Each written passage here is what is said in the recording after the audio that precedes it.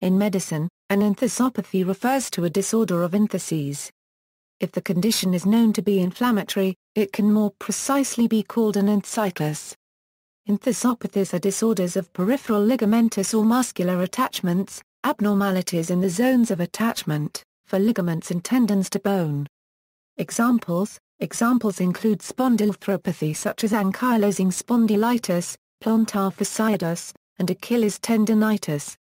Adhesive capsulitis of shoulder, rotator cuff syndrome of shoulder and allied disorders, periarthritis of shoulder, scapulohumeral fibrositis, enthesopathy of elbow region, enthesopathy of wrist and carpus, synovitis of hand or wrist, periarthritis of wrist, enthesopathy of hip region, gluteal tendonitis, iliac crest spur, psoas tendonitis, trochanteric tendonitis, enthesopathy of knee, enthesopathy of ankle, tarsus and calcaneus, other peripheral enthesopathies, unspecified enthesopathy, references.